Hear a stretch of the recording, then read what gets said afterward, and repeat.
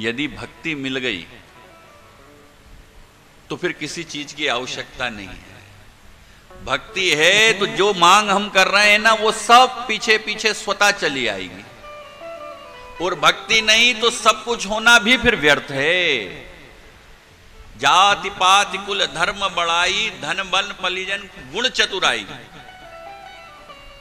जो दस गुणों से युक्त भी है, राम जी उसको कह रहे हैं, यदि भक्ति से रहित है तो वो फिर मेरे काम का नहीं, और जो राम के काम का नहीं, वो फिर किसके काम का? और जो बातें हम भगवान से मांगते हैं,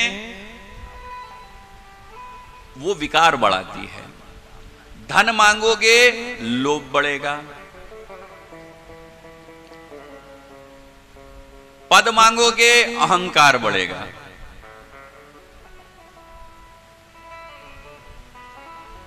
हम जो मांगते हैं, उससे विकार बढ़ते हैं। लेकिन वो मांगा जाए जिससे उद्धार हो।